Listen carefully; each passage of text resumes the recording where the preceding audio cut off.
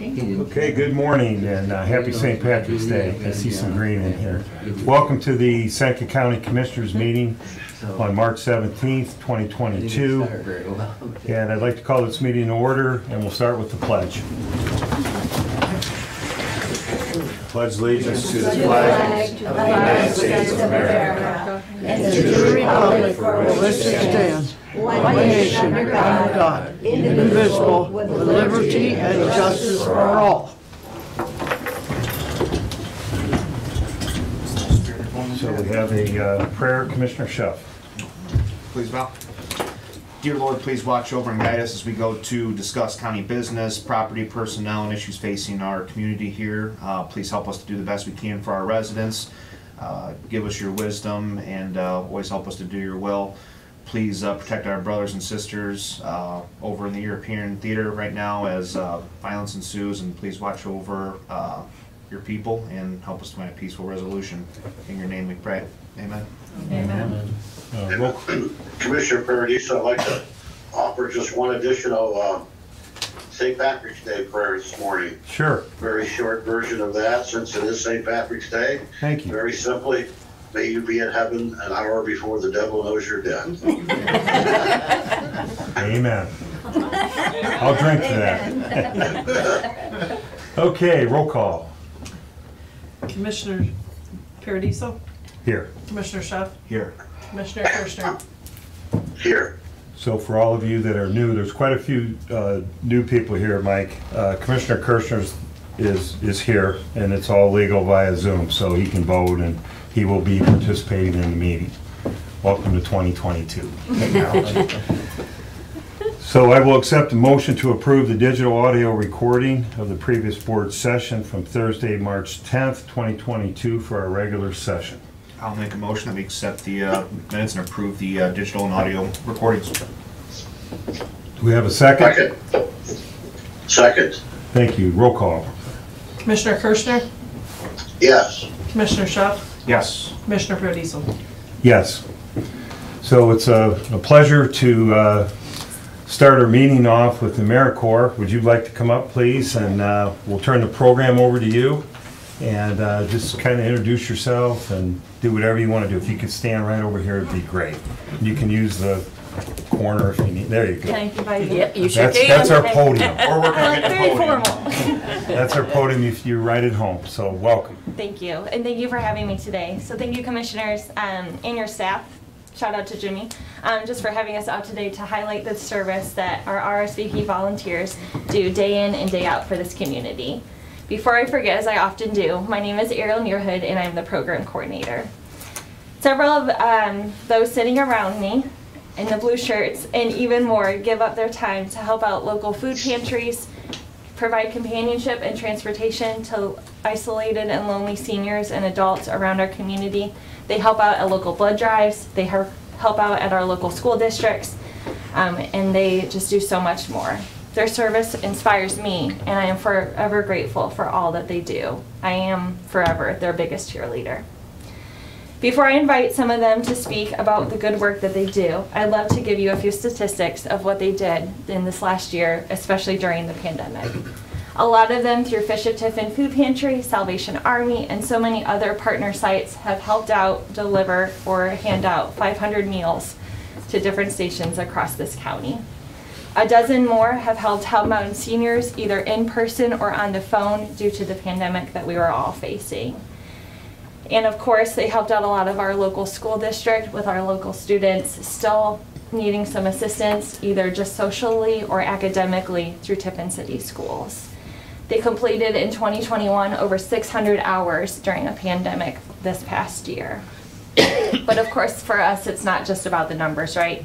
It's about the people that they're serving day in and day out. It's about the people that they're serving and the people who are doing the serving. And so I would love to introduce, and I'm going to make him talk first since he does it for a living, RSVP AmeriCorps Senior Ken Jones to share what he does for our program. Ken, if you want to come next to me at my podium.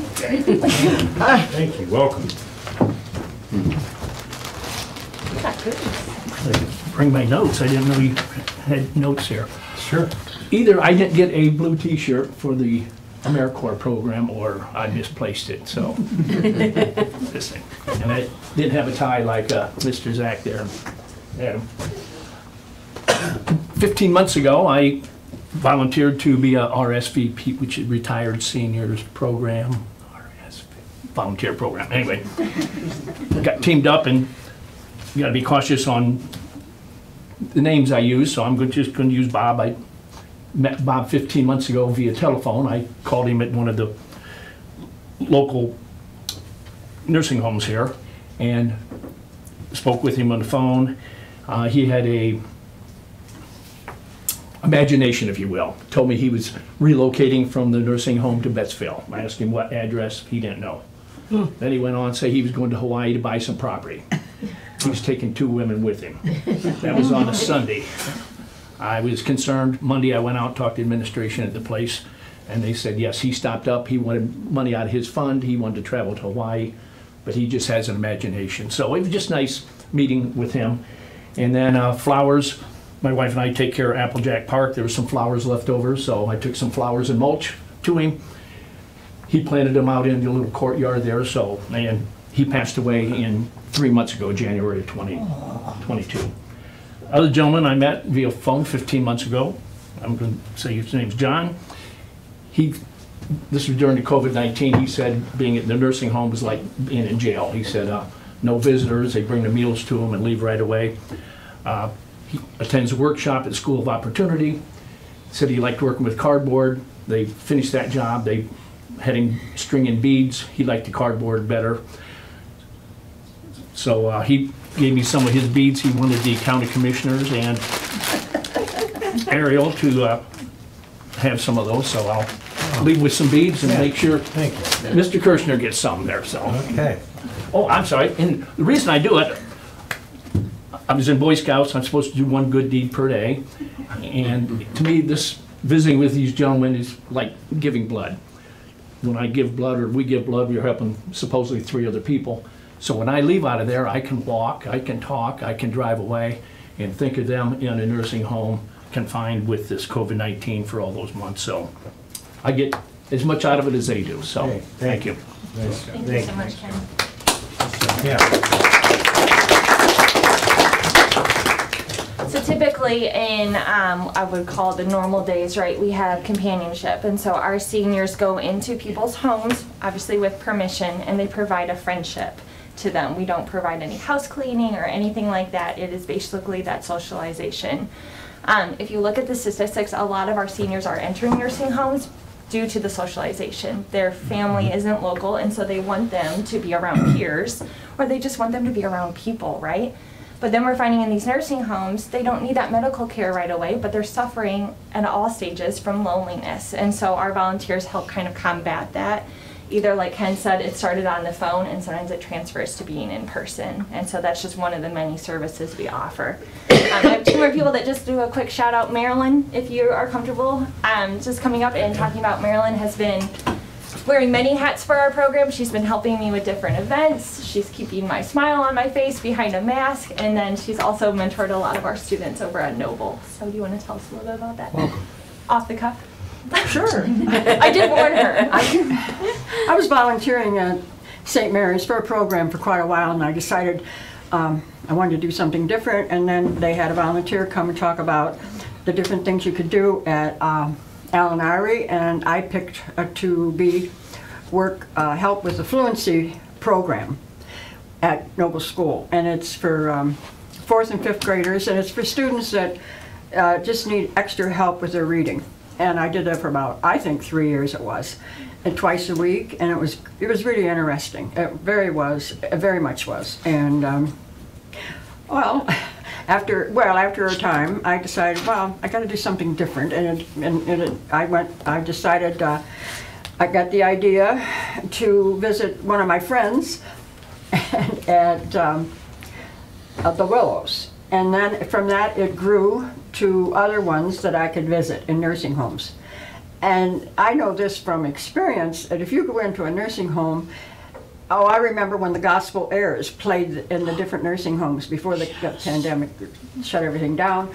I would go there and they would just love to listen to this music and smile you're you're shaking your head, I'm glad that you are, because you know what it means. Yep. Okay, and, and then, um, but that's when I realized that, that you can walk into a nursing home and just say hello to, but just say hello and they got a big smile. I mean, it's, you can just tell.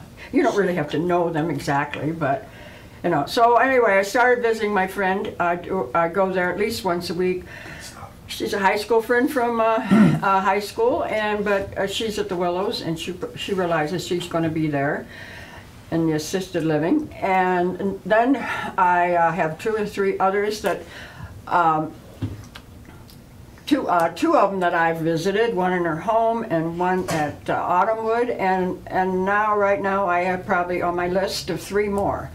But um, I um, don't get them all every week, but I have intentions of seeing them and, you know, just talking to them, going in and, and just what's new and just, and I don't have a problem with what to say. I, my children say I talk too much, but anyway, uh, I don't care about that either. I was born this way, I guess. Anyway, and so uh, I, that's what I do now. I, well, I visit people in nursing homes and to cheer them up and all of that. And um, I, I have to add this. um, I have a, son, a grandson that's in the service, and the other day I was talking to him about what I was going to do, and I says, "Well," I said, "I belong to the Corps," I said, "and I'm going to uh, go and make a presentation." Dead silence. but I was trying to compare myself to him, but it, it didn't get no reaction from him. Anyway, that's my story. Any questions? Nice job. No, it's great.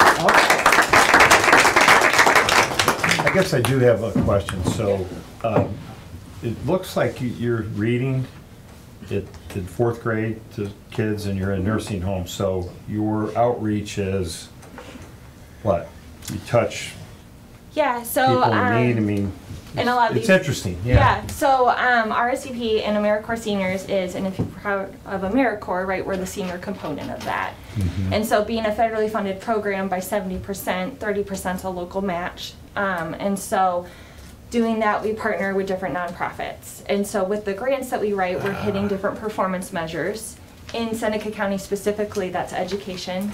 Um, if you look at our schools, two thirds of our students right now are living with one parent or a grandparent at home whatever, however that situation happened, they're kind of starting to fall behind that curve. And so education kind of became a big goal for us. Marilyn doesn't know, I mean, she knows everything I don't know, but she didn't go into education. She didn't aspire to be a teacher. And Marcia behind her the same way, right? These are people that just love kids.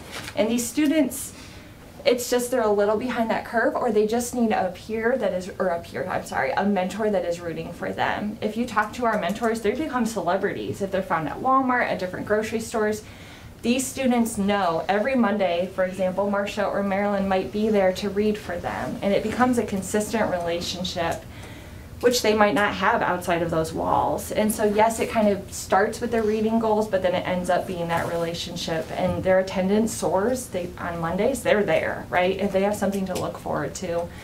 If it's not education that's, really driving them, it's huge, right? Food pantry, food insecurity is another thing in our county that I know you guys see day in and day out. So we pick food pantries to partner with.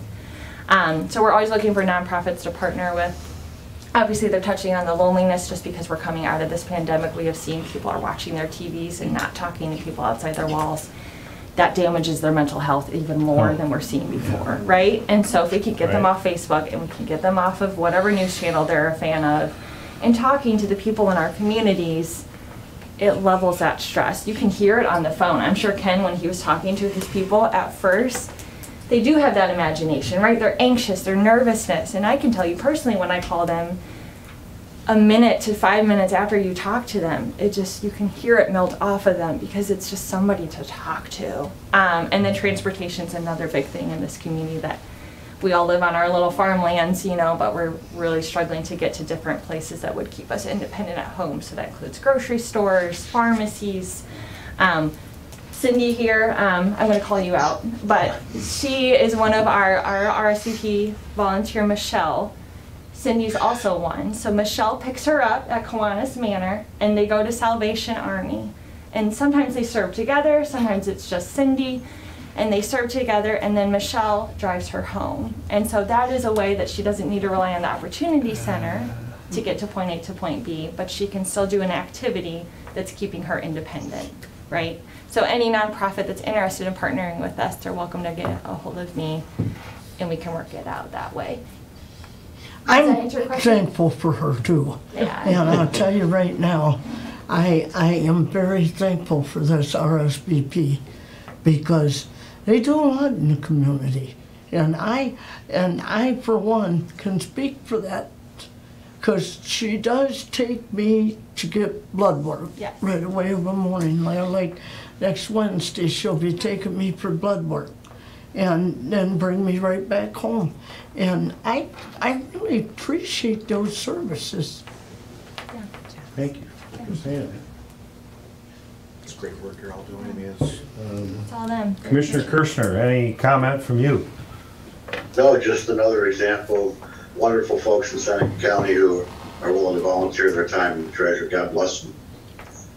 Yeah, like I always say, it's just, this is a great job because we get to see all this and hear this and learn and it's just amazing. So, does anybody, anybody else want to speak from your, Bernard, did you want to go, or do you just want to Come on up. hang back? Say a few words. So This sure? is Bernard Engelhart. Bernard is fairly new to our blue crew, if you will, um, and he just has a few words. Thank you. Good morning. I'm Bernard Engelhardt. I've only been with the organization about six months, so I'm fairly new. Um, Kind of here today to listen and learn. Um, A lot of people that I talked to said, you know, what are you doing? And I'd volunteered at Mercy Hospital for about 21 years. And the pandemic changed things, and I decided I wanted a little more of a challenge. So a lot of people, once, uh, I think it was some in paper, I contacted Ariel and said, come on up and we'll talk about it if you want to join the organization. Excuse me, so I did. So that was about six months ago. Um, a lot of people ask it, what is RSVP? What does that stand for? Is it some reservation or what is it? so no, it's Retired Senior Volunteer Program. So um, with the largest network of volunteers in the nation. Wow. So Never we have a lot that. of resources we can go to when needed. Um, I'm very excited, of course, about getting started, doing things, helping people, uh, whether it's in a nursing home or, you know, the food pantry or wherever their needs are. And actually, I remember the first time I uh, volunteered at Mercy Hospital and I came out and the nurse said to me, how'd it go today? And I said, you know, it's just wonderful, and, and actually I get more out of it than what they do. And then it always comes up the question, a lot of people say, why are you volunteering, you don't get paid? So why would you do it? A lot of people have that attitude, unfortunately. I said, we do get paid. It's just the way I explained. It's Yeah. better for me, I go home feeling good, and I've done something good, so that's always makes you feel good. Amen. Um, Take a look at my notes here. I look at volunteering basically as for today and then tomorrow moving forward with new ideas, new things to do and help people. So I'm always looking forward to a challenge and always looking forward to helping people because of what it does for me. Thank you. Boy, Mr. Engelhardt, thank you. Thank you. Thank you. Everybody's So- smiling in here. This is great. Anybody else, Ariel? Nope, that would do it. Just one last thing. So the one thing that I am challenging Bernard with, since he does like a challenge, um, is we are currently in the planning stages, in the infancy stages of planning a volunteer fair for Seneca County.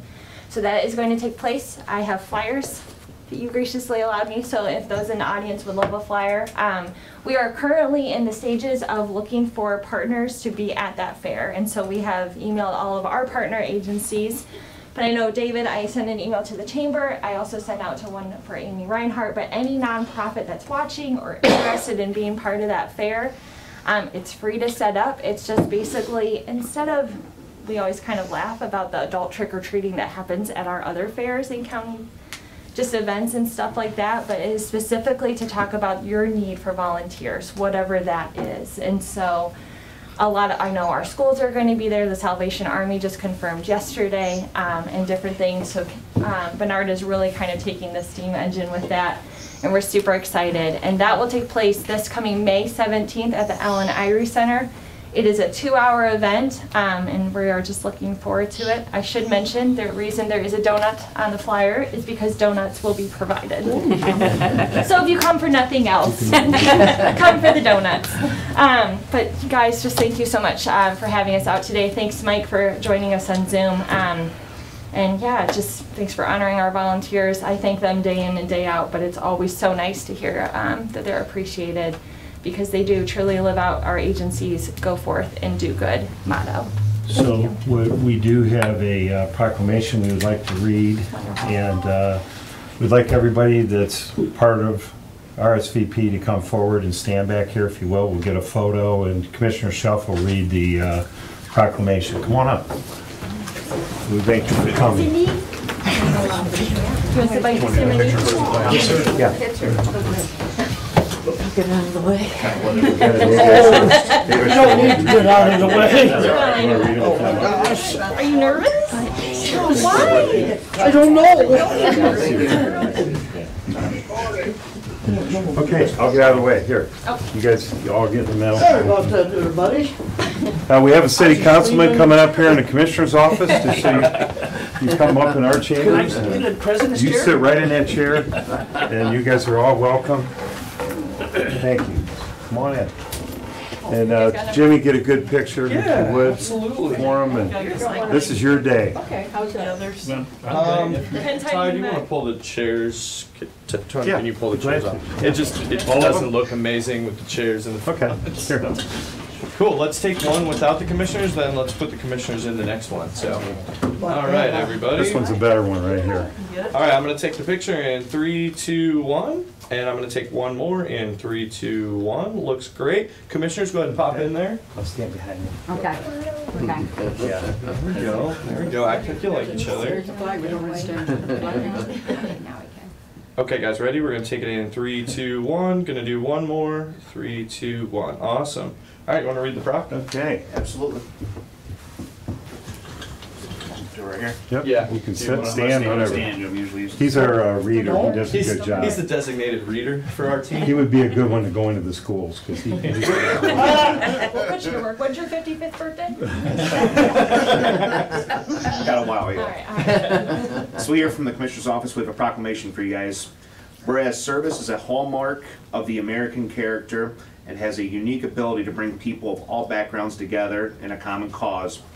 And throughout our history, citizens have stepped up to meet our most pressing challenges of the day by volunteering in their communities. And whereas AmeriCorps provides opportunities for more than a quarter of a million Americans to serve their country through services and nonprofits, schools, public agencies, and in community and faith-based groups across the country.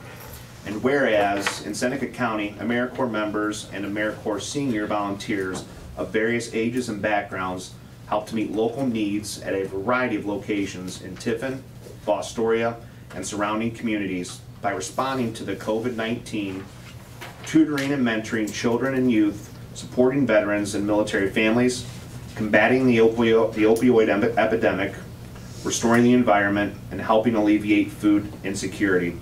And whereas AmeriCorps members and AmeriCorps seniors volunteer and encourage collaboration and partnerships, leveraging millions of volunteers in service and acquiring the support of business, foundation, and other local partners to increase the effectiveness in their, in, in their initiatives.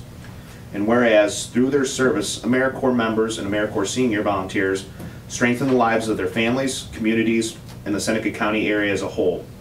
And therefore be it resolved that this Board of Commissioners of Seneca County, Ohio hereby designate March 13th of 2000 2022 as AmeriCorps Week in Seneca County and urge citizens to thank AmeriCorps members and alumni and AmeriCorps senior volunteers for their service and to find their own ways to give back to their communities. March 13th through the 19th, 2022 is AmeriCorps Week. In witness thereof, we, the Board of Seneca County Commissioners, have hereunto set our hand to this proclamation this 17th day of March in the year of our Lord, 2022. Commissioners Mike Kirschner, Anthony Paradiso, and Tyler Schuff. Thank you for all you thank do. volunteers. Thank you.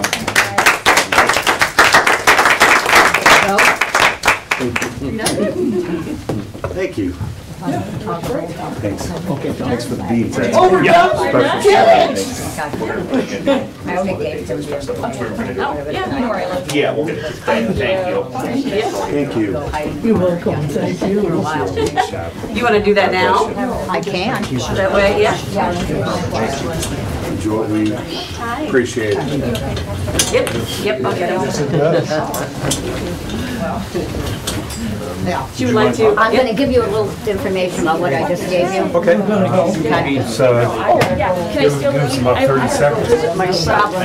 And, uh, You're in good hands. Since I'm here, I might as well do two things. Exactly. And head back to Fostoria. Yep. okay, pause here a couple seconds. Thank you again, once again. Thank you. What'd you say? I left you the pink. Oh, thank you. Thank you. Paper all the You look familiar, I'm sure I've What seen is you at the that? hospital. I'm Right. sure I have. Oh, yeah, I was there twenty-one years. Regardless. Thank You you. have a smiling face wherever you And. I'll get with you on more of the I say it paperwork. does You're the more for wizard me. and Well, so I just I didn't like do it, doing you know, stuff. I'd be Keeps sitting me home. busy. I've been retired from, for twenty-one years and so I'm gonna be active. That was the quote of the day. Thank you. People say I'm not getting paid. Yeah, I get paid yeah, real people, well. I mean, they're serious, they're my friends. And They are serious, almost negative about it. I didn't do anything like that unless I get paid. So just gets to you. Keep it up. Thank God you. bless you. Yeah. So we'll continue. We have uh, representative from the Railroad Museum here. Well, my name, it's Fostoria Rail Preservation Society. It's a Preservation. very long name. And My name is Ellen Gator. Thank you. And because of Fostoria, it's Wood, Seneca, and Hancock counties. But Mm-hmm. to let you know, I live in Wood County, but I can see Hancock County out my front window, actually. Okay, because it's a half mile down the road. So, And the but I am. is located where? We are at the LE and W Depot on Mm-hmm. West North Street beside Flippin' Jimmy's in Fostoria.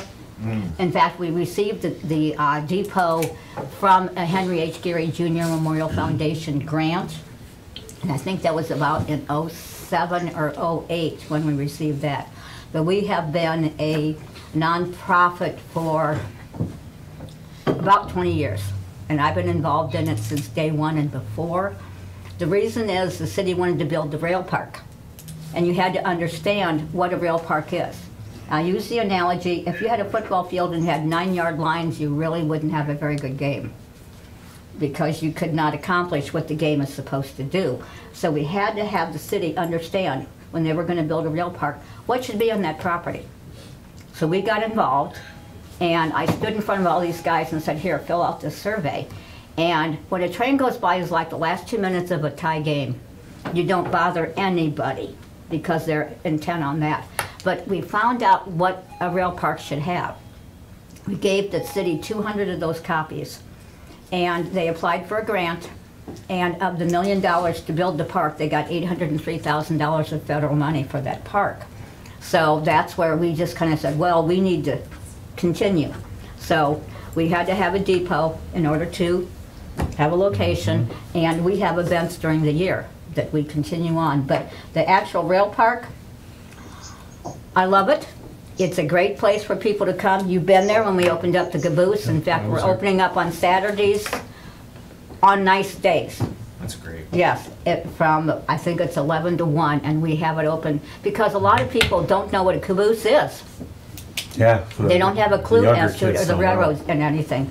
So that's where I started getting involved in Fostoria, and I chair all of our events. So my house has piles of the different projects that I'm on. And I also work with RSVP because I've been involved with Project More, which is a reading program since '06. And I also, because of this rail-related, I am an Operation Lifesaver volunteer, which is a national organization. Mm-hmm. And that was started in 72. But I've been involved in it since '06 as a certified volunteer. And I'm, as you can tell, I don't let people stand in my way if I want to do something legally. Like a train coming through. Yes, you, you better stay back off the tracks. And I do bug people and they don't like me, but sometimes, but I think it's also, a man could say something and it's okay, but if a woman says it, they really don't like it sometimes, and I don't care. Have you ever had that happen to you? Yeah. No, I know, I know, it's, it's only me, yes, haha. But I just, I enjoy doing things because when you don't get paid, they really can't stop you as much. Is that right? Can't tell you what to do. you know, yes, yes, and I, and I enjoy doing this. And my husband thought I was nuts. And I told him I do twice as much because he doesn't want to do anything with it. So, and he understands, but I do, it's just part of my family and everything. But the rail in Fostoria, if you didn't have trains, Fostoria wouldn't have been there. And there wouldn't be the commerce. Can you imagine what things would cost if we didn't have trains hauling everything? With the cost of today and every, and such, so.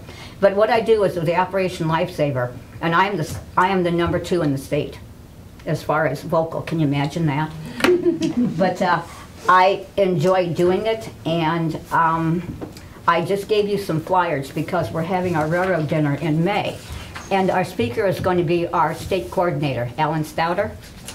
And he's going to talk a little bit about what his job was with Norfolk Southern when he was working for them. But he's also, I want him to go over a lot of the different programs we have, because the programs are based on your age. So you don't talk the same program to kindergartners and elementary as you do high school and adults. They also have a commercial program. And that's what I think the county commissioners should get involved in, also with the township trustees, because you have drivers who drive over tracks. And it seems like people don't know what stop signs sometimes, and they don't realize that a red light means you're supposed to stop if you can, not if you want to. Am I right? See, but anyway, that's what I would like to do. And Alan's going to be at the meeting, and I think it would be great because then you, at your level, can ask the township and the, and the county people to get some training on train safety, because everybody should have it. It's like driver training. You just need to sometimes be reminded about the safety factors of it. But every three hours, somewhere in the United States, something, people, person, or thing, is on a train tracks where they shouldn't be and a train is going through. And, and people go, well, we need gra- rail grade crossings to have the gates. Sixty percent of the time, it is when someone goes around the gate. So it doesn't matter whether you have the stop sign or the stoplight, people are still gonna go through it, and the same thing with the gates. So that's what I do, and I love it. So that's what I wanted to talk to you about with this, but. Have you ever reached out to the people that run that Safety City? I know they- I'm they do- involved, no, I'm not in, I do the one in Fostoria, and I do it in Toledo too. Yes, yes. If you have one here, let me know about it, and I will do it. Dawn yes. Iannatuno, who's on city council, I can give you her number, maybe you guys can Okay. collaborate, say they do Safety City, Yes. maybe tie in the railway to it as You well. can email me, it's right at the bottom there, that is me, so. Oh, you know what, I didn't put my email address on there. Ah, ha, ha. Oh, well, call my number and leave a message, the 4351781 is my number. One seven eight one? Yeah, that's me. I have a snarky message, so just leave a message, and if you're a, if you're a scam caller, I don't bother calling you back. So, Okay. They aren't calling anymore. I don't, which is wonderful. But anyway, this is what I like to do. We have the railroad dinner, and Yep. I really, I would love for you to come, because people need more information on safety. Our rail festival, that's, in fact, we're having our 20th year. Then we have Santa at the Depot. Last year, we had 75 Christmas trees, three, three, 36 of them were six foot to nine foot in height, and we spent 450 hours decorating.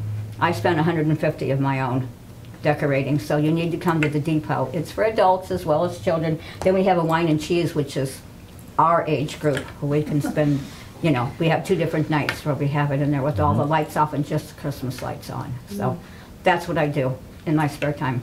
It's wonderful. So, okay? Sure. Thank you. Just a quick question or something Yeah. gonna throw out there. I was actually thinking of you the other day. I, I get on Facebook Marketplace every once in a while just to see what's on there. It's kind of Uh-huh. like Craigslist, but Yes. over in Fremont, there's a train depot for sale right now. I think it's, Yes. I think it's, I shared it with It was Renee, I shared a it with uh, Mayor nickel plate, yes. You gotta figure out a way to haul it or move it, but I just know you have a very mighty group and you guys got that caboose over there. It'd Be pretty The cool to have that train Biggest depot. problem is the depots in Fostoria were just recently torn down. And one of them, the New York Central one, is now, or was owned by CSX. And I'm just gonna say it. Railroads don't care about anything historic, especially if it's New York Central and this is CSX, because all they look at is the bottom line. So I understand. We had tried to move that years ago. Ah.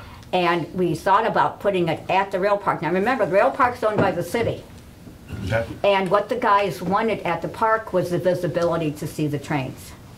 So the caboose, I mean, is there, but it's in the center, so you can still see, and it's high enough to where you can view things. But had we put a depot on the property, it would have been like blocking the field for a mm-hmm. football game. Y- You know, but it would be nice if there would be a place to put it. I totally understand, mm-hmm. because Bob Lorenz is from Fremont, and he's, he and his wife were the ones that told Teresa and Lee and I an awful lot of information, so, and he passed away, but yes, I know what depot you're talking about, I've been there.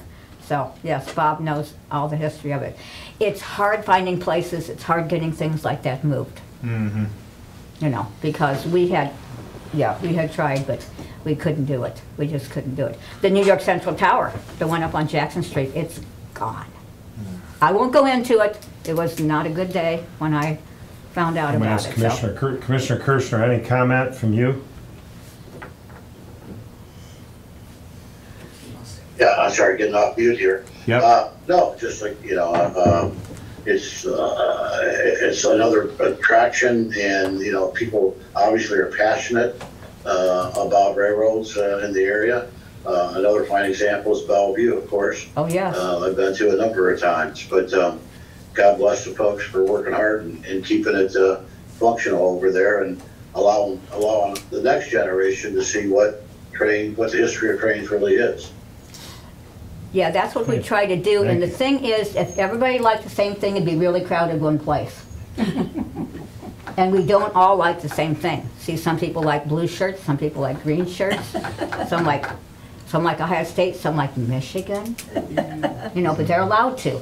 They're allowed to do that, so. But I'm involved with the city park because they don't have enough employees to do it, so I love mowing the grass. And I'm getting ready soon to, to mow the grass, so you meet a lot of people. Lots, in fact, we have sold four homes in Fostoria to people that have moved here to watch the trains because they can afford to have a house rather than stay in a hotel all the time they come because they can watch anytime they want. In fact, a couple just are coming from Erie, Pennsylvania, which really has much more severe weather than we do. So they, they're going to be able to handle this quite easily. Just, so. uh, we, we we gotta watch our time, but Yeah, what I'm the, uh, uh, I think you told me once, is there a train that goes through there every two minutes, three Um, minutes? today, okay, trains are longer now. What they have, and remember, I don't work for the railroads. I just, I'm kind of a marketer. Observation. Yes, yes, marketer. And there used to be 120 trains a day, then went down to 90. Now it's about 70 because they are longer. Have you noticed that you might wait at a crossing longer? Mm-hmm. That's because the railroad is cutting back on their employees. And they have a DPU, which is a distributed power unit. That is that other engine that is farther middle. down. What they do is they put the heavier loads at the front, the cars, then they put the DPU, and then they put more of the lighter weight or empty ones at the back. Sometimes they even have one at the very back. We are very flat around here. We don't have to have the power to go up grades as you do in other areas. And they do, they've had that in other places all the time. In fact, they would have one at the very end to, uh, like a roller coaster. If you didn't control the speed of a roller coaster, s- same thing with the train. So that's what. the- 70 70 a day then? About 70, yes. Okay. And we have Railstream and we have Virtual Railfan have cameras there. So if you want to watch for free, you can pull that up. Because some people love to watch trains. About three every hour. Yeah. We had a guy from Pennsylvania, he'd stand in front of the camera and wave, and that way his So that's wife knew where he was. But I mean, see, that, that's, I love that. And there's a lot of people that are very good friends, so, okay, I've done Thanks- enough. thanks for all you do. Sure. Yeah, thanks for I coming. love it, and again, a woman involved in this. It's- Thank you. Some people like it, some don't, but I don't care, so, thank you So very we'll much. have uh, We'll county. save- we'll admin- save all these in our County calendar. Okay, administrator's yes, report. but Uh, if nothing you come today. to the meeting, I think you'll today. enjoy talking to Alan, because the programs are free, and people need to be updated on safety. You don't wait till something happens and then go, oh, guess what we should do? Mr. Shuff, any uh, re- commissioner report from you? Yeah, we have the uh, Township Trustee Association meeting tonight. Uh, Spoke with John Monk from WTOL earlier this week about our rural broadband, so keep moving forward with those plans, exciting stuff. Um, Regional Planning Policy Committee uh, this week, and then also we're gonna be discussing the ag building, but other than that, just uh, going through a lot of uh, discussions here. I think our, our David, Zach, and Adam here, uh, Bill, you were there, you were there, really, all four of you. Uh, I thought that meeting Friday was pretty, pretty uh, exciting. You could feel it in the room. Uh, Representative Latta was there. uh, And uh, so we look forward to get this study completed by summer. So I really don't have anything to add. Commissioner Kirschner, got you down on old business for SB 52, plus I think you wanted to uh, uh, put a slide or two up, so I'll turn everything over to you if that's okay, we can include uh, uh, old business SB 52, because I believe that falls under your explanation, okay? Well, Senate Bill 52, just as a reminder, Yeah. is uh, the Reineke bill uh, that talks about uh, wind turbine uh, projects and, and solar projects uh, across the state of Ohio. Evidently, Apex has reapplied uh, for their permits that have been turned down. And uh, we just wanted to make sure, like Stacy, I think that we have indeed sent from the prosecutor our letter uh, supporting Senate Bill 52. Is that Yes, right? yes, and she confirmed it with them that they have received it. Okay, so that's really all, uh, all there is about that. We just wanted to make sure that we get, the hearing is today, uh, so we wanted to make certain that, uh, all our siting board, uh, had our comments and knew where the commissioner stood as it relates to the Reineke bill. Okay, So that, I think that's all there is on SB fifty-two unless there's something I'm missing. is that good, Jimmy? Nope, I think that's fine. We're still in, under commissioner reports, so you can continue if you, if you like. Sure, sure.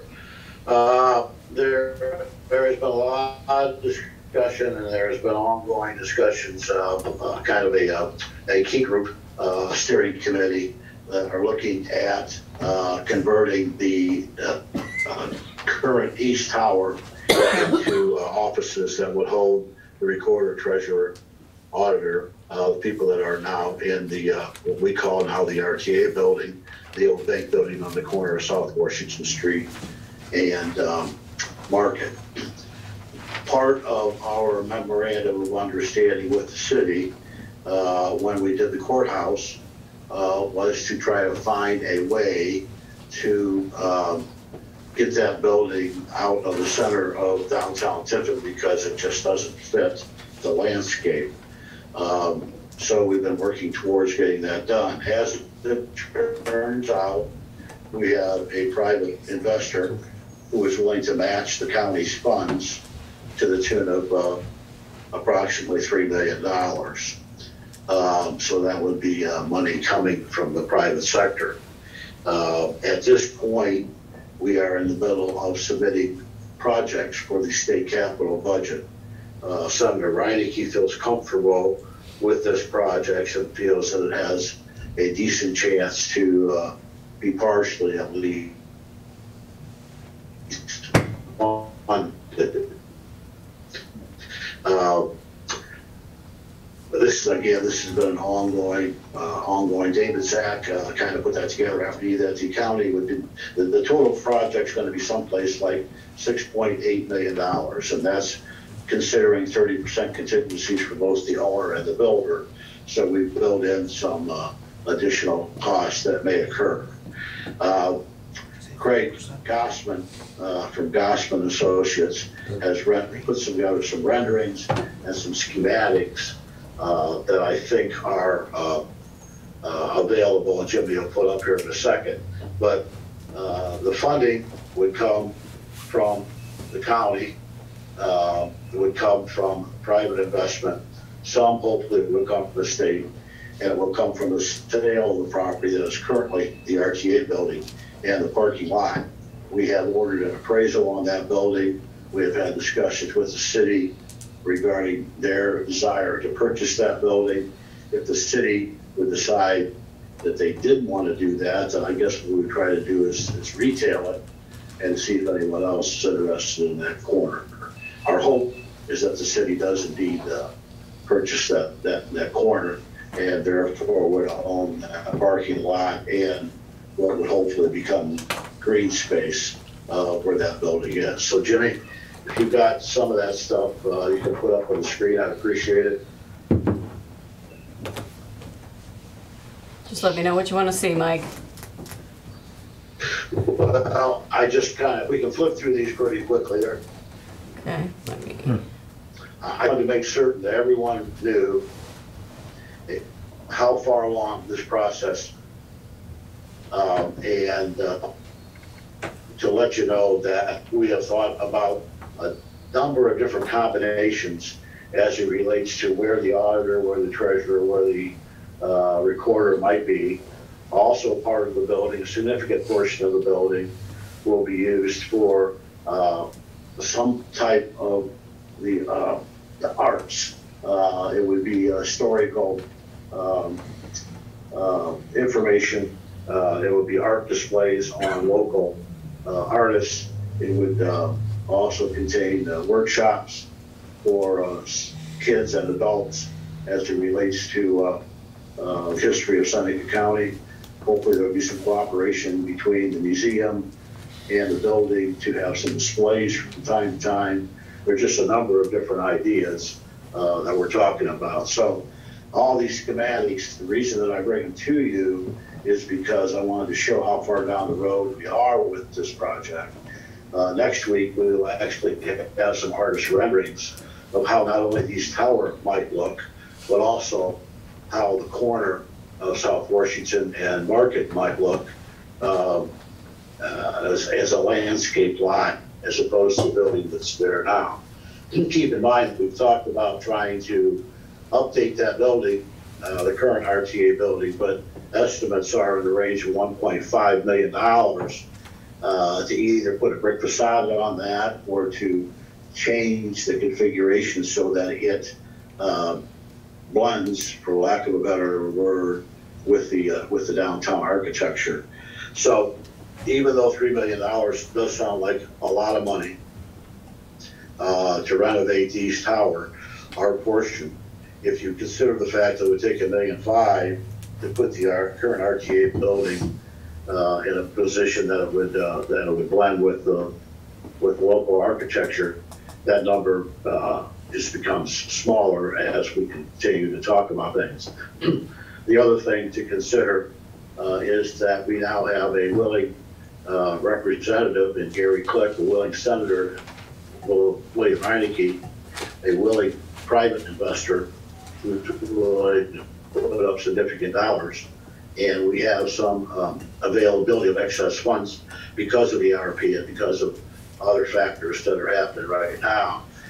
We are in a position to be able to do this financially because of those things. If we don't take this opportunity at this point, uh, certainly the stars will never align as they are now, and the project would probably never get done. So it's just a question of uh, whether we want to take the leap, and I think that this would be a transformational project as it relates to the downtown Tiffin area. Uh, Jimmy, there's one picture there that shows the atrium, uh, which was the final picture that I sent you, that will give you kind of a rendering of what East Tower might look like. Can you find that? um, Those are examples of atriums. That came on under a separate email, Jim. The Yeah, it's one that first one I sent. sent you, Stacy. If you all right, let me find it. see if you have that. Yep, I think I closed that one because I thought it was different. Me too. Did you send these to me, Jimmy? Uh, I just got them like three minutes before Yeah, the meeting. okay. I will send So them. you will, because I, Yeah. first time. It's the same. Uh, let me find it quick. Uh, Jimmy, Jimmy, Jimmy. Now, all this information that was- had been presented earlier, and all the, the- these schematics had been discussed uh, in. Yeah. Cutting out, Mike. But just kind of, these are kind of, we'll look at uh, the atrium on the back, that would be required for handicap access. Uh, That back is basically where the uh, Calvin parking lot is now, or portion of it.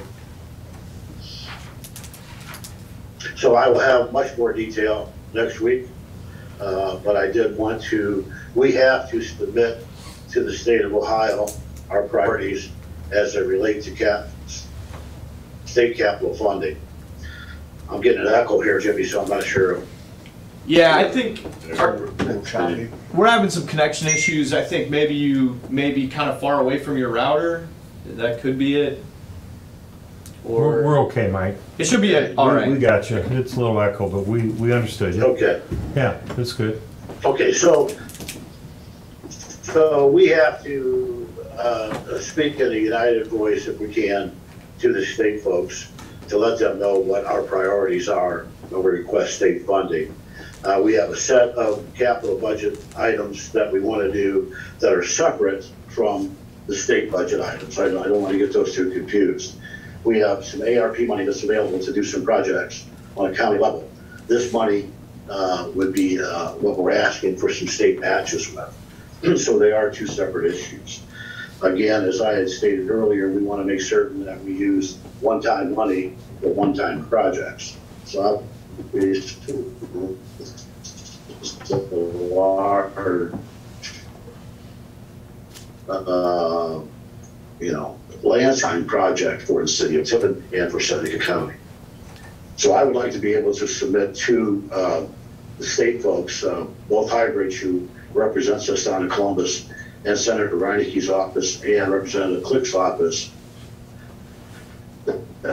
This project uh, is one that we consider to be uh, furthest along as it relates to our preparation uh, to get this project done. We are almost at the point where there could be some architectural drawings. In fact, those could be, those could be uh, ready by the time the, the uh, representatives have to present it, which is a couple of weeks away.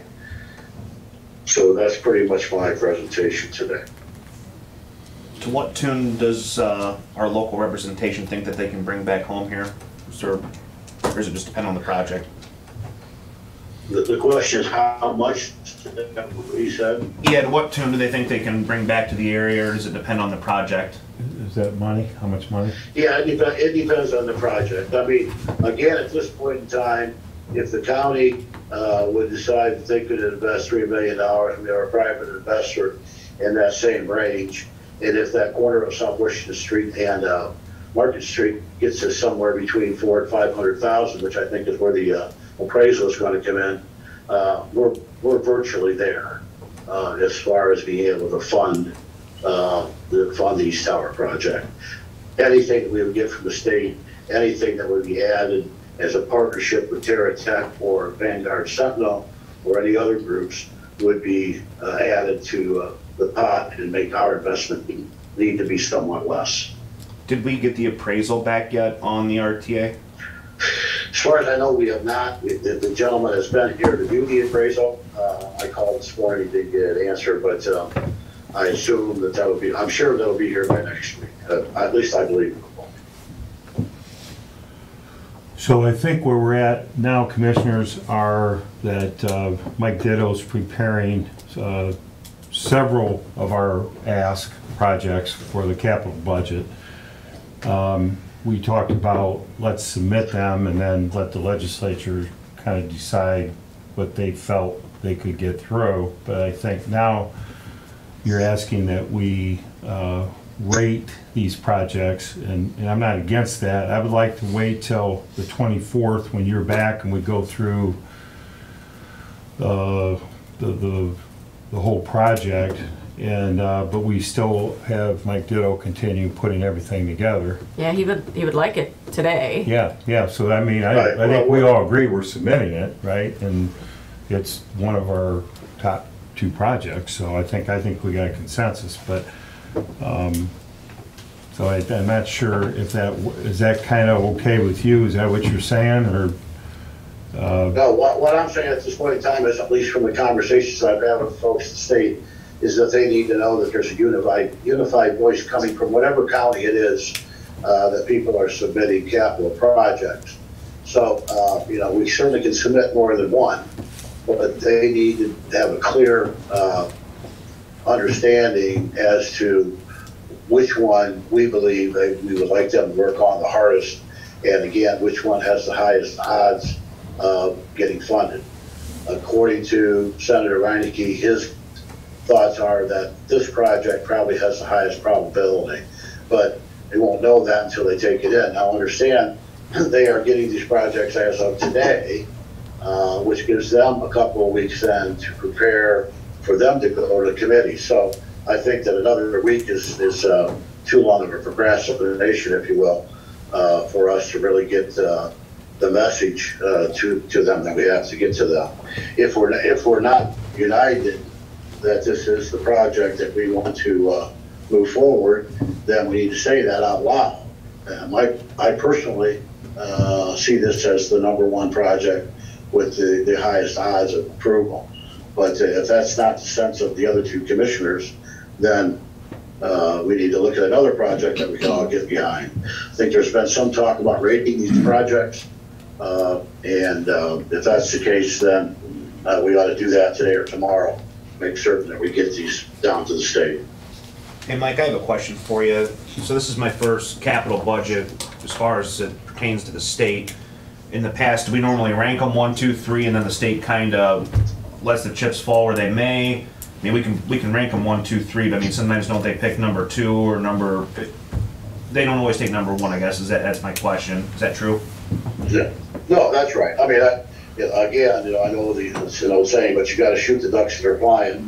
Whatever, uh, we, we submit the projects, we let them know what our priorities are. And the last time around, I think the number two project was the one that, uh, ended up getting funding. Uh, but, I mean, that's something that they have to put together and work on.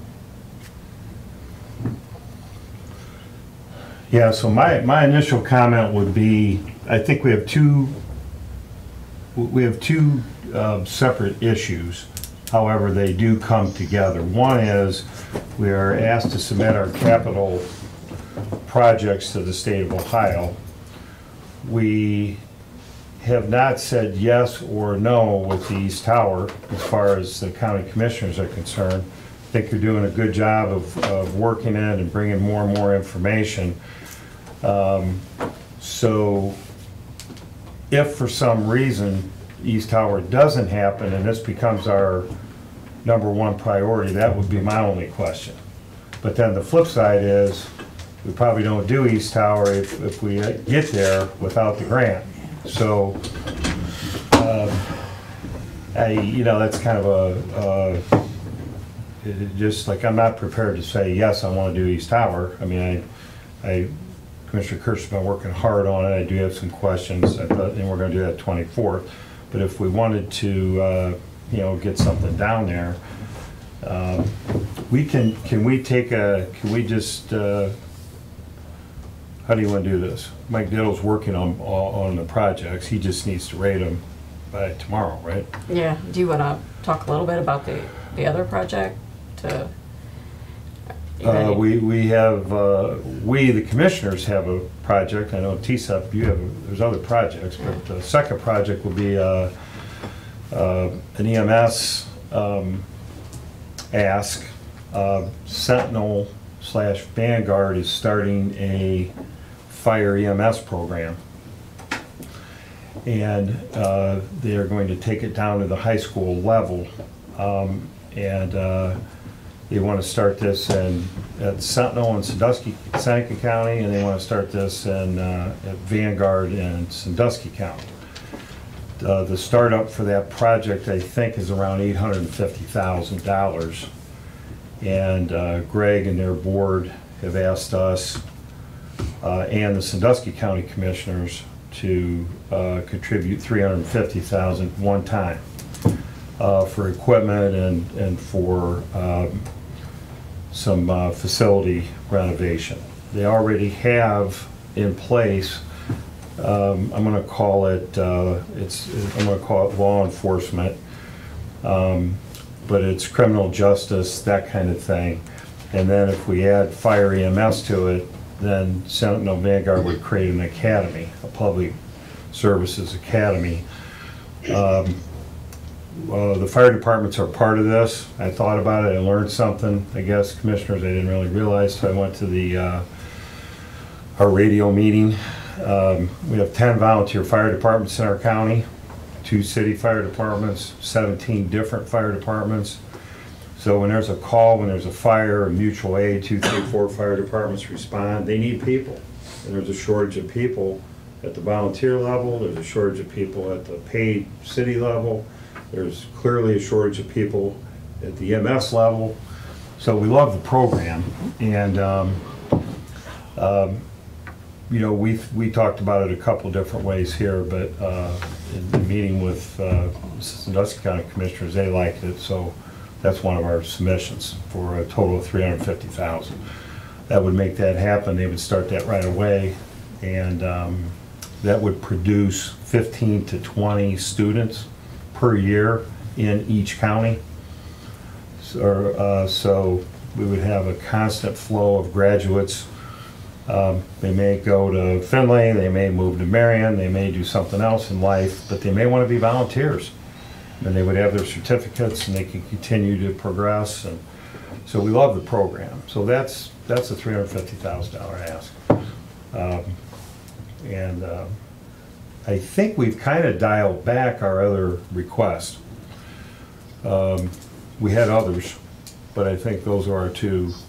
Yeah, I think the others, I think, were a little confused with what our local Yeah. projects So were to- just compared to- to what we were gonna submit Just with to the help state. clarify Yeah. Commissioner Kirschner, so uh, we're in a capital budget discussion, and there's, there's really, I'm gonna say three pots of money. There's the general fund, the operating, county has a capital budget, and then we have this ARP money, and now we have this grant state money, and this is what State capital. state capital budget that comes around every couple of years, and this is what uh, Commissioner Kirschner's talking about, and I'm talking about.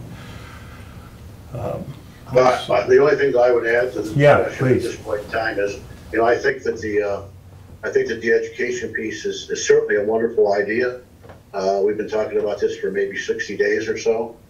Um, uh, it's been a, a, a, a, great thought process, and I'm glad it's cooperation with Sandusky County on this as well. But I think that project is going to happen, uh, if not today, you know, sometime in the future, because we've got enough people behind it. The project as it relates to East Tower, if we don't take the opportunity to do it now with the funds that are available and with the willingness we have in the private sector, that's probably never gonna happen. Yeah. So, uh, uh, it, uh, right now is uh, obviously, uh, an opportunity and a moment in history, uh, that we could, uh, do something transformational. Um, and I believe that the educational piece, if everybody continues to work hard on it, will, uh, occur at some point, possibly not the next school year, but maybe the school year after. Um, and, uh, that will happen with or without state funding, most probably the tower will not happen with or without state funding. Was the community kitchen part of the discussion too, if I'm, memory serves me correctly, was that in the top three or four as well? I think that was a, That's not our, that would be Yeah, he different. can- Yeah, that's a, that's a No. uh, Seneca County Tiffin discussion. But for the commissioner's request, um, I think we're separated. Right, is that correct, Commissioner? That's a good question, actually, Tyler. That's a good question. Yeah, I mean, we would certainly write a letter of support. I think that, Which uh, we did. we did. Mr. Zach, was- was uh, Mr. Zach is putting that together uh, to, uh, uh, to the state uh, capital budget requests. But um, it's not a county project. I mean, obviously, we're in support of that. We, we sold them some land and we've done whatever we could to make certain that they had the ability to make that happen. But um, it's not a county project. Okay, thank you. Okay. Um, So we want to, uh, I guess what we're asked, the three of us are asked is to rate uh, East Tower 1 or 2 and the EMS either 1 or 2, because we're just talking internally about our two projects. I think that's where we've narrowed this down to. Um, And I, I, I don't disagree that's a transformational project. I don't disagree that And that was my comment, that, you know, unless they get, unless we get the match or the grant from the state, it, it's definitely gonna hinder the project. Um, I guess my only thing is I'm just, I just, I'm, I'm just not a hundred percent ready to say, let's do it. So, What's our absolute deadline, drop dead date as far as having our projects submitted? I mean, f- so for me, I guess, seeing the presentation on the screen, this is the first time I've got to see it, and I guess us discuss it in person, which I think these discussions are good. I, I guess I had a lot of questions, but I mean, when's our absolute drop dead date is when we, when we need to have these projects submitted and prioritized to our, uh, state officials? I know Mike Ditto had asked that we do it Yeah, by, today. by tomorrow. I think tomorrow noon, yeah. So, uh, And I've got a lot of questions, should I, I mean, I, yeah, let's talk about the twenty-fourth, I mean, unless that's gonna change. So I I thought, I thought we were gonna have, I thought we were gonna kinda have these discussions on the twenty-fourth. Um, I just have a lot of questions, I don't know if I should email them or if we wanna spend three hours going over it today, I just, I don't, um, can we get, is it, would, it- can we get, can we get everything to you by noon, the three of us? What we wanna do? I mean, I- yeah, I guess I can work with Mike. I'd like to make a call or two, and Um, I think we can get this done Jimmy, by, there is a, uh, by noon, Mike, tomorrow. tomorrow noon. uh, Jim, Jimmy, there is, uh, when, when is our next, uh, East Tower meeting scheduled? It's the Next 23rd. Tuesday or Wednesday? It's the twenty-third, Twenty, Wednesday, I think. which is Wednesday? Yep. Okay. um, Mike Ditto's on if you need him to. I mean, I to guess, okay. comment. Well, I mean, the We other gotta thing allow is- him to- for the- Some of these we might not have answers to though, too, I just, I, I thought we really had till next week to kinda get everything ironed out, like, I'm not ready to make an informed decision right today, I mean, maybe, I- Uh, Mike Ditto's on. Mike, can you clarify? I mean, I, we were going with a deadline of today initially, correct? Yeah, thanks, Stacy. And I apologize, I was in another meeting and I was just able to get on now, so I have not heard the discussion over the last hour, but, um, so the, the deadline for the county and for every, every entity in Ohio to submit the projects to their legislators for consideration is tomorrow at the close of business, March 18th. And then from there, the legislators have two weeks uh, until about April 1st to take all of the projects from their respective districts, prioritize what they want to see, and then they provide those projects to their um, leadership in both the House and the Senate. Um, It's, it's, the way the process works is like that because, for instance, in the situation where you have Senator Bill Reineke, he represents seven counties. So all seven counties are likely going to be providing him uh, projects for consideration. His office is going to take the next two weeks, starting after tomorrow, look at all of the projects that he has presented to him, and then he'll rank his priorities for submission to the capital budget in consideration um, to the next step. Um, So it's really incumbent upon us that at a bare minimum, tomorrow, by the close of business, we submit to Senator Reineke and Representative Click uh, a list of the projects that Seneca County supports. Um, I would advise that um, they be prioritized, um, number one and number two. However, if that's not achievable, and that does happen, where there's often a, a split, um, that, that can happen in, anywhere in the state, um, then I would just say that these are the two, three, four, however many projects that are supported by the commission as a whole. Okay, so Mike, if, if we, if we score this number one, and then after continuing due diligence, because, you know, that's really what we're doing. We continue to move the East Tower project forward till we decide we're either doing it or not doing it. And we Mhm. haven't decided yet. So if we apply and make this number one, and then for the reasons you've outlined, and then for some reason down the road, it- the East Tower doesn't happen, what happens then? Great question. So there's kind of two paths here. Number one, you could just, you, over the next, the incumbent thing upon us now is that we submit something to the legislators by tomorrow. If you decide actually in the next two weeks that you're going to reprioritize things uh, or move things around within whatever projects you submit, we can do, we can have those conversations with your state senator and your state representative. That's no problem. It does happen a lot that in a capital budget, uh, sometimes things, uh, the projects don't go off as planned. Um, And so there's either delays in the project or the project gets uh, scrapped. You don't want to have that happen, of course, nobody wants that anywhere in Ohio, but uh, it does happen, and the state would either retract the funding for that project, because it's, it's basically, they hold on to it until they spend it and give it to the local entity, um, or it could be repurposed for another project at a later date. Um, If you can avoid doing that, I would, uh, because you don't want to have the, um, you don't want to have the perception that, that projects aren't ready to go. Uh, Commissioner Purdy, so just as a compromise here, let's, um, Yeah. uh, if we can, Tracy, Stacy, um, the meeting on the twenty-third, which is the steering committee for the East Tower project, uh, let's make that a public meeting and a commissioners meeting, uh, so that, uh, all, all of us can participate in that meeting. Uh, the other two, uh, commissioners can ask all the questions they want, because all the players theoretically will be on that call. Okay. Uh, and we can, uh, we can get questions answered. And, uh, we'll submit by tomorrow, uh, for Mike Ditto, you know, both the education piece and the East Tower piece, and, um, tell Bill that we'll be able to, um, give him a, a clearer picture as soon as, uh, the commissioners brought current on both projects. I I think that's fair. I like that. Mike, I have a question for Mike Ditto. Need to learn more. Mike, in your uh, professional experience, what do you think has a better feasibility of getting funding? Something that um, is more geared towards education and public safety or um, historical revitalization? Great question.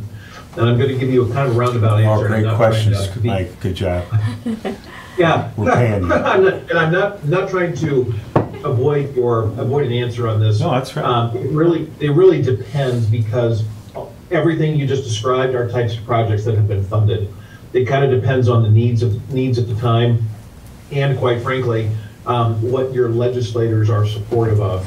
Um, What will happen is between the governor, the Senate president, and the Speaker of the House, they'll all collaborate over the next month or so to try and build a capital budget that is good for the whole state of Ohio.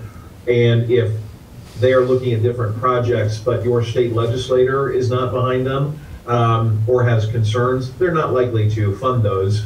But both of the things that you've described over the last um, bit here on this call, I think both of those have an equal opportunity of getting funded, depending on how they are structured and depending on community involvement and investment into the project. Match into these projects also counts. Thank you, it's a good answer. Um, I guess one question for Commissioner Kirschner, real quick. Mike, so like, as far as my questions go, I mean, I, I don't want to waste time if you guys, if we're all meeting on the twenty-third, I don't mind asking the questions or sending them out in an email. I don't wanna blindside or have anybody be surprised. I mean, it might take a few days to gather some of these answers, but do you prefer I just write down what the questions are and give them to the group beforehand so they can have answers for them or research? Like I said, I don't wanna blindside anybody, but what do you prefer? Yep.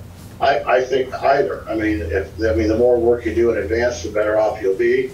Um, and I also think that, uh, it's best to have everybody have open discussion while the people that can answer the questions are sitting at the table. Just to expand on Mike Ditto's, and I, I don't want to skew this anyway, but I, I do want to say that, um, history has shown me from a state capital campaign that there is a high, uh, weight put on more than one uh, political subdivision be involved, in this case, the city of Tiffin and the county of Seneca, and the private sector participating. I don't think I'm misspeaking here, Mike, but that certainly, that certainly gives it a lot more uh, ability to be considered when that, that occurs.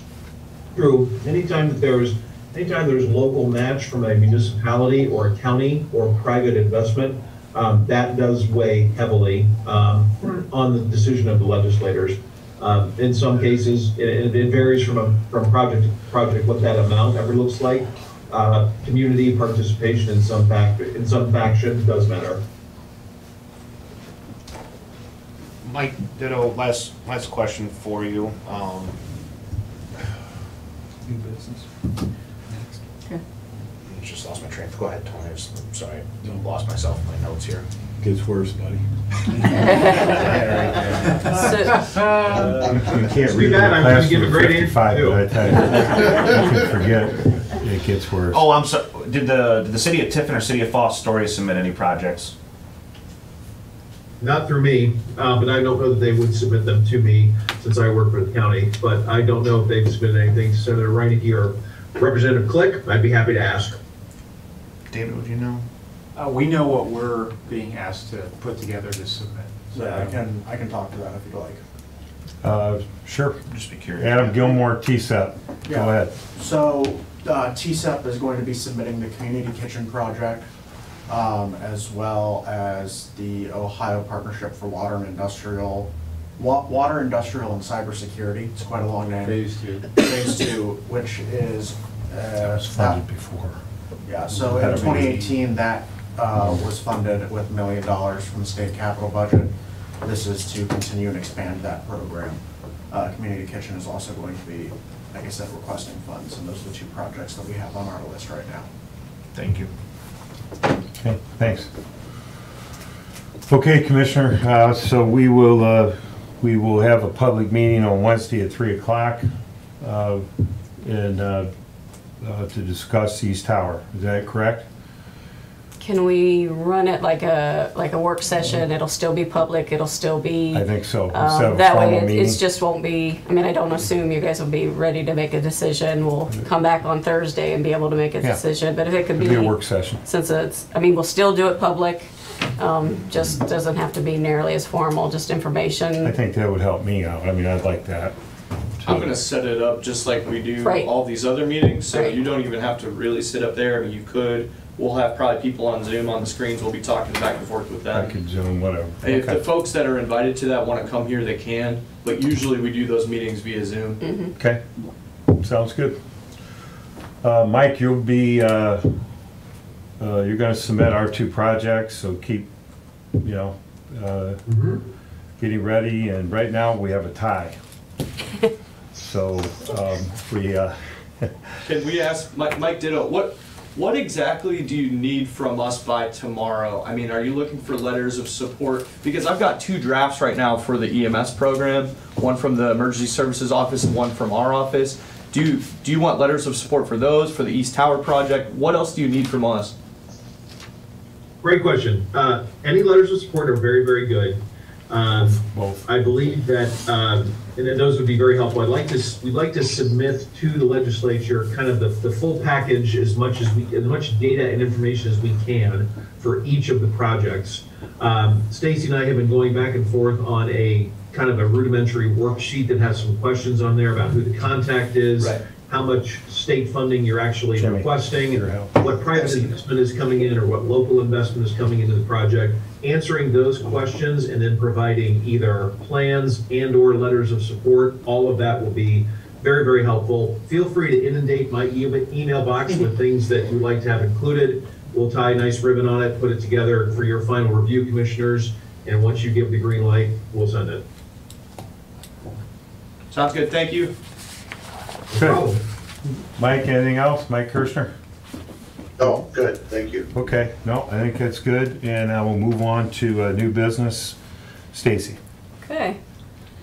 I have a request from Job and Family Services, uh, putting hundred thousand into their contract services line. This is money needed for their four D contracts. Uh, the next one I have on my list is from, uh, Job and Family Services. They need, uh, ten thousand into their equipment line. It says additional money needed to purchase equipment and laptops, uh, for the OMU program. Uh, My next one is uh, a request from our office. This is following the discussion on capital projects, uh, I think two weeks ago, that you guys had initially said, you know, you wanted to move forward with the uh, countywide server. Um, So this is uh, the quote that we had had. Jake got me an update. Um, And it's a little lower than the 160, but that's the number I had. So um, uh, so I got 160,000 in, our- into our equipment line and the capital projects fund. Can you say that again? That sounded good. It's a little lower. A little lower. We don't usually hear that very No, often. I, I, I thought you said. Yep, Okay. yep. Surprise, surprise. Uh, that's why I would get this approved quick so I can sign it even if it's a mistake. price goes up. yeah. Uh, the second one I have, uh, again, we talked about this a couple weeks ago. Um, 120,000 into the jail line in our capital uh, projects. We've got most of updated um, quotes from the sheriff. This included the 911 upgrade for the um, uh, the desks and the setup for the for the new equipment, uh, the bathroom shower replacement, and the front entrance concrete, uh, handicap front retrofit, all the ones that you guys had highlighted uh, in in the presentation last uh, two weeks ago. Yeah, that's just, you know, that's unfortunate because you would think that's a, that would be a grant, just a gimme grant.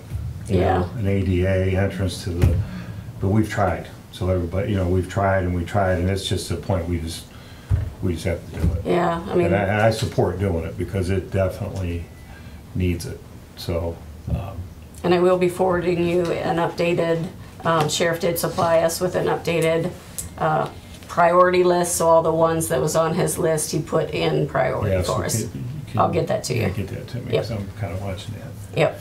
Two questions real quick. Um, as far as the contract services line, what is four D?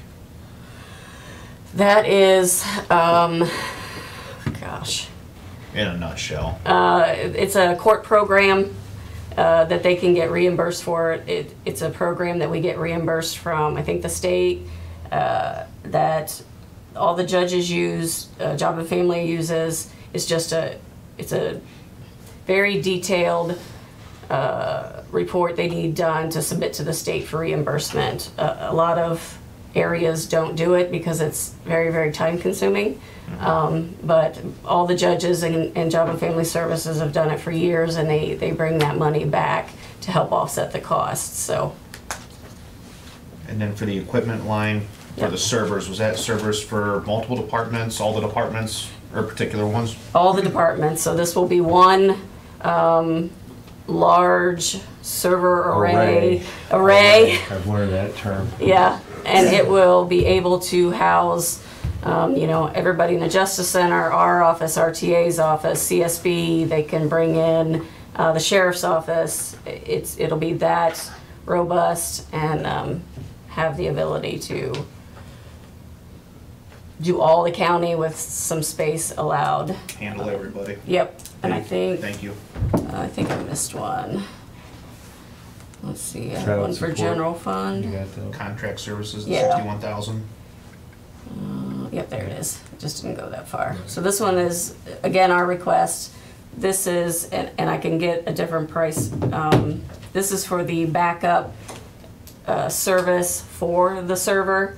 Um, we get a much better price if we go three years, so this sixty thousand is for a three-year contract for uh, warranty, maintenance, and everything on the servers. So, uh, he gave me a yearly price, uh, two-year, and he said if you can do a three-year upfront, it saves us, I mean, almost ten thousand dollars. Is that what Buckeye IT recommended? Yes, doing? yep. Yep. He said he would do one year at a time, but it- if we plan on doing it anyway, um, so that's what that was for. I I always, doing. I always wondered, does that, the clock starts when they install it or when we order it? When it's installed, when it's ready to go. Right. Um, what else do I have? I have a resolution setting time, date, and place to receive sealed bids for the 2022 pavement resurfacing. Uh, Contract number 2022-3. Uh, This is set for April 14th, 2022 at 10:15 a.m. here at the Commissioner's Office. I have a resolution authorizing the agreement with the Seneca County Health District uh, for 2022 medical services on behalf of the Seneca County Youth Center effective March 1st, 2022, and for the president of the board to sign.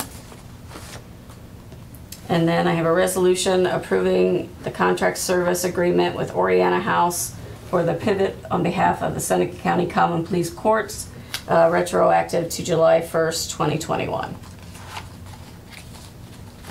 And those are all I have. Question on the um, pavement bids. Mhm.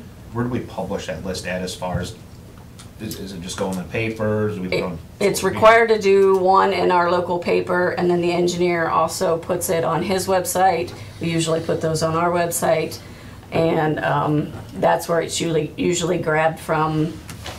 Some of those construction is at the Dodge report, different things like that. It gets pulled in through there. But uh, the requirement is to put it in the local paper with the largest circulation is what we're required to do. Okay, I wasn't sure if we were using multiple uh, avenues as far as advertising that one or not, but so, hey, all right. Yeah. Thank you. Usually they, they watch our papers like the Dodge, everything, because I'll start getting Contractors do that. emails. Yep, so it So- gets out there.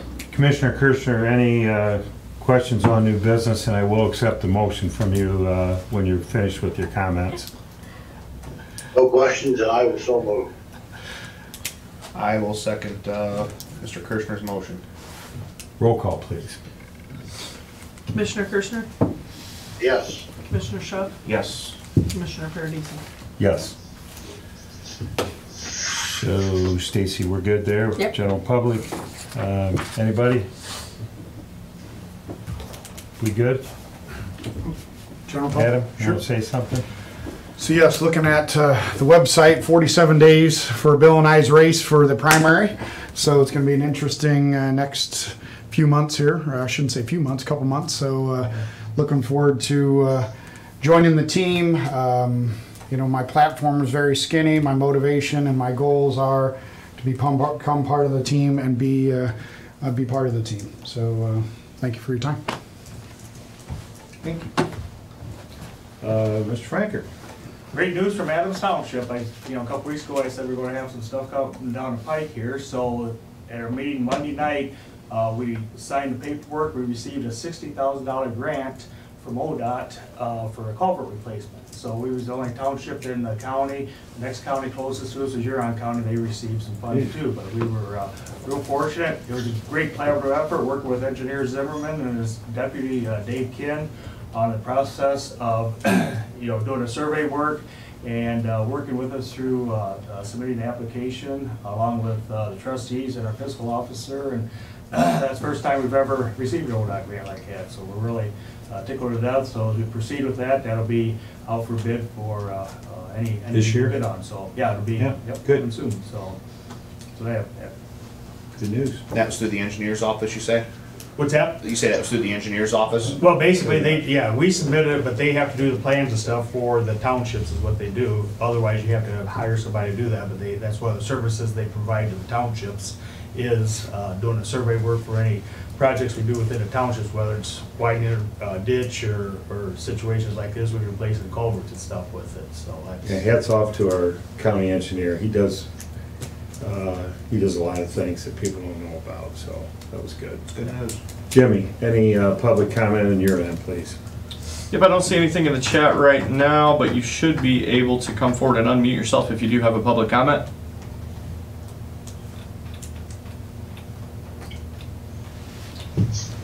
Think we're good? If there's no Okay, comments. uh, hearing no other Motion to comment, adjourn. we have motion to adjourn. Meeting adjourned. Didn't get a second. I second.